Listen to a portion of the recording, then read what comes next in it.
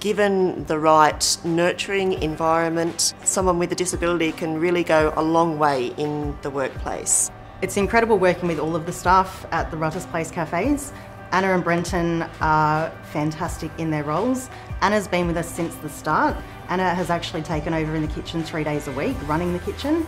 Um, she's doing an incredible job. Her confidence has grown exponentially. Coming to work each day makes me feel good, happy to serve customers, and happy if it's then coming to work and cooking for people. I get to see my friends and colleagues.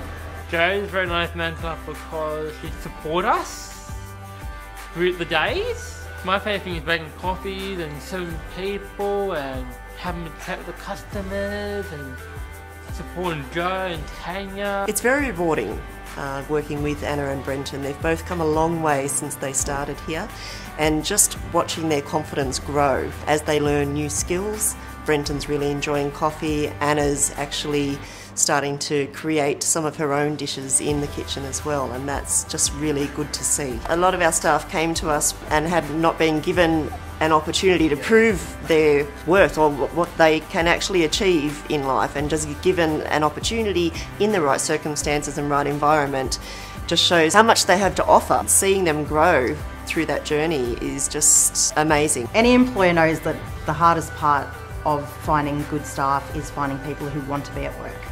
We have the people that want to work. If they can be patient and adapt their training methods to support these guys, they will end up with some of the best employees they've ever had. These guys can learn skills, they've already got the attitude, you've just got to give them an opportunity.